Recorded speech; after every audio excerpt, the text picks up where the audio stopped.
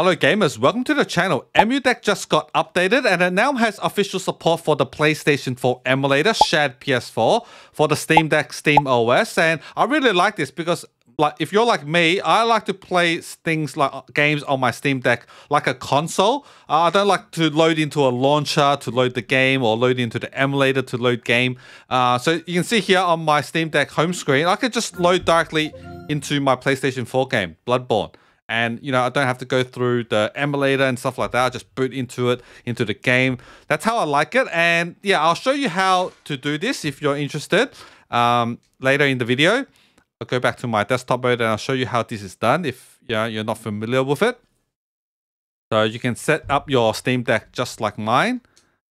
All right, and it, like it's amazing just to boot directly. Uh, this is actually using the main build of the PlayStation 4 emulator, shadPS4. It's the main build. So, like for Bloodborne, it's not the best build to play Bloodborne. Um, using the fork does run a little bit better.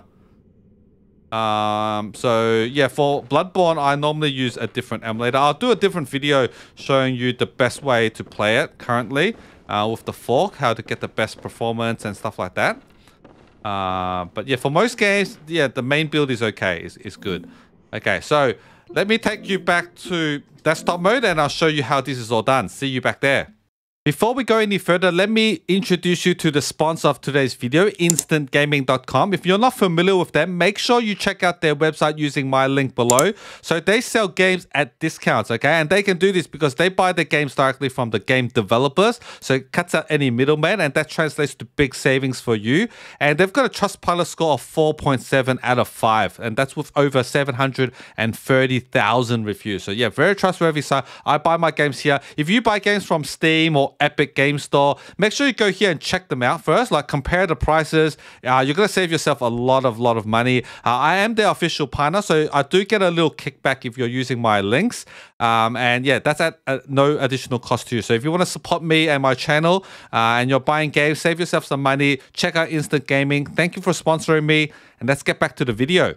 Okay, welcome back to my Steam Deck's desktop mode. The first thing you want to do is you want to install EmuDeck. Okay, so if you don't have it installed already, go to emudeck.com on your browser. Okay, click on the download on the top right, and then click Steam OS. Okay, download for free, and go and open up your Dolphin, in your downloads folder, you should have a new file called emudeck.desktop, which you just downloaded. Double click on it, click execute, and it's going to run an installer like any Windows installer. Just follow through. It's going to take a little bit of time because uh, it does download a lot of emulators. Okay. Um, and you get to choose between installing it onto your SSD, your internal SSD, or the SD card. Okay. For me, I installed it onto my internal SSD. So if I go to my home directory, there's a new folder called emulation. If you install it onto your SD card, it's going to be in your SD card location and you also have a folder called emulation. So it'll be exactly the same. Uh, it looks something like this, okay? And onto your desktop, you should have a new shortcut called emudeck. So run emudeck and uh, update. If, if there's an update, make sure you're on the latest version. Okay. And once you're in here, click on the left-hand side, manage emulators. Okay, scroll down a bit and you should see shadPS4. That's the PlayStation 4 emulator. And then here should be installed. I've already got it installed. That's why it says uninstall for me. But if it's your first time, it should have installed here. Click on it, make sure it's installed. Uh, and then you might want to reset configuration if you want to, you know, make sure it's stock settings. Okay. And then once you've installed ShadPS4, go back to your um, Dolphin, your, your file manager, back in the emulation folder.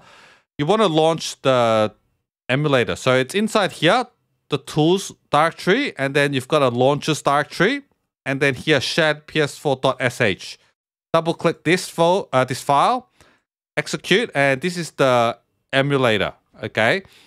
And if you go to settings, game install directory. This should be the default directory.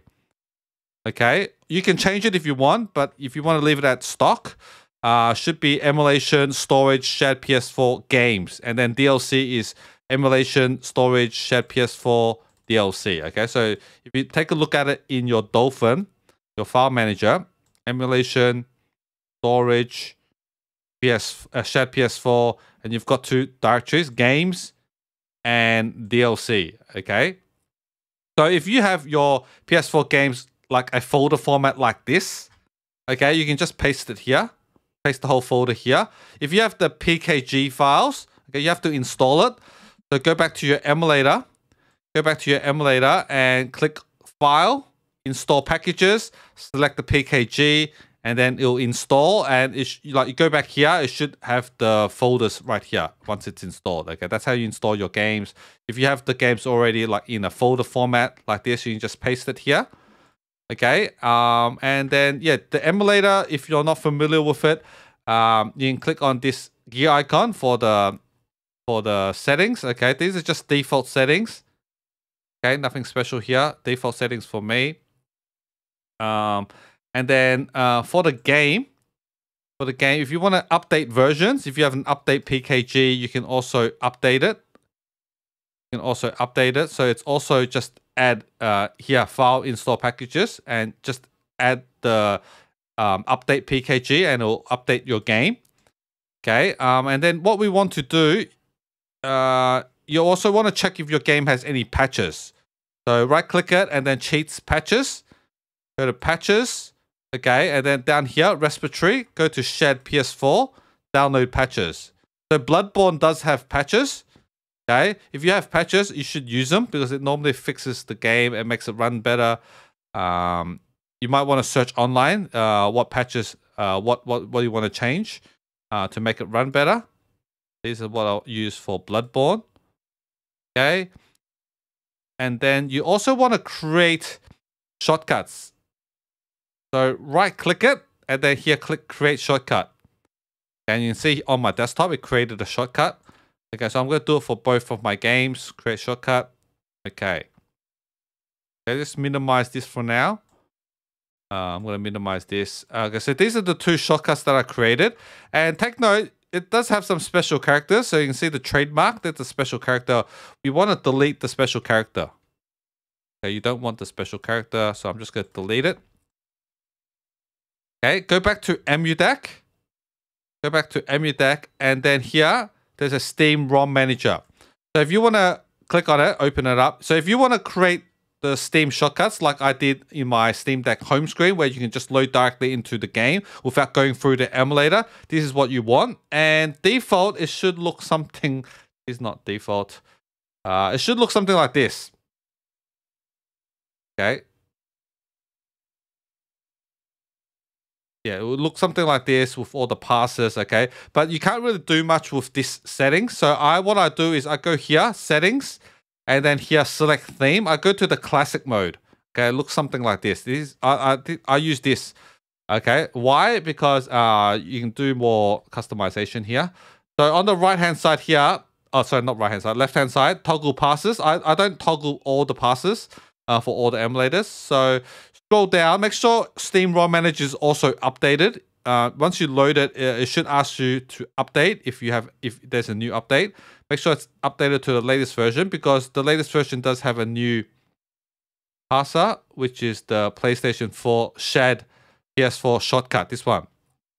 Okay, click on it and here are the settings. You might want to mess around with it if you know what you're doing. Uh, I just leave it at default. Okay, what you want to change is here, it says here ROMs, the ROMs directory. It's like the ROMs directory global slash PS4 slash Shocker. So where is this?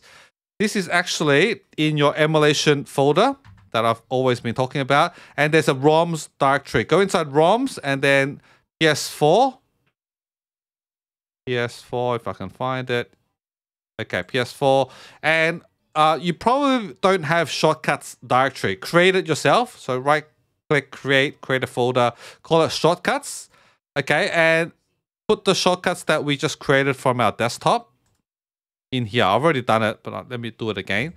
So just drag them over, move here. Just to override it. Okay. Put it here. Then go back to the Steam ROM Manager. Okay. Um, yeah, that's basically what you need to do. Um, and then these are all fine. The executable is in the tools launchers, shadps4.sh. Okay, so these are all fine. Save. And then here, click add games. Pass. There are no pass return passes. Okay. Oh, because we didn't click on it. Oh yeah, we didn't click on it. Okay, so you need to turn it on. So I forgot to turn it on. That's why. Uh, click pass. Okay, so I found my two games, the two shortcuts, and then you have to make sure Steam is closed. Okay, so I've got Steam opened here. So right click it, exit Steam. Make sure it's fully closed. Okay, this icon has to be gone like that. Okay, and then I'm going to click save to Steam. Okay, it's going to attempt to kill Steam. And it feels like nothing's happening. Be patient. Don't just close it. It's not going to work. You have to wait until it says done adding, removing entries. That's when you can close it.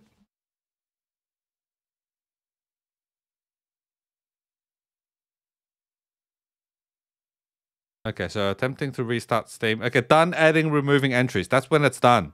That's when it's done. And then in your Steam, if you open up Steam, you should have the shortcuts.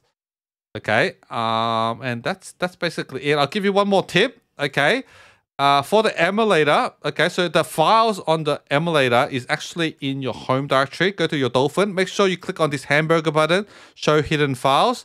Inside there's a dot local hidden file folder. Okay, and then go to share. Then there's a shadPS4 folder. Inside here, there's a folder called sys modules. It should be blank by default. You have to uh, dump your own system module files from your modded PS4. Okay, and you should put them here because some games require them. Uh, the Last Guardian requires these files, else it won't have sound. Okay, you have to dump them yourself. If you find them online, it's illegal to use like someone else's files. You're supposed to dump these files from your own PlayStation 4. Okay, uh, I'm not, that's why I'm not going to share these files. Um, yeah, you should dump them yourself legally. Uh, don't ask for ROMs, these files. Okay, uh, to emulate legally, you have to do it yourself. You have to dump your own games. You have to dump your own system modules. Okay, uh, it's right here. And yeah, that that's it. That's it. Once you're back into your um, Okay, let me show big picture mode. So it's going to be like same as gaming mode. So once you've done all that, go back into your gaming mode or big picture mode, press the Steam button, then go to library, and then on the top, go to collections. Okay, you should have a new Sony PlayStation 4 collection, and here would be your games, and you can just launch it from here. And then once you've launched it once, it should be in your home, your home screen. Yeah, like this A recent game screen. Yeah, that's that'll be easier to to launch, and that's what I like about it. So let me know in the comment sections if you have any issues. I'll try my best to help you out. Thank you for watching, and I'll see you guys in the next one. Later.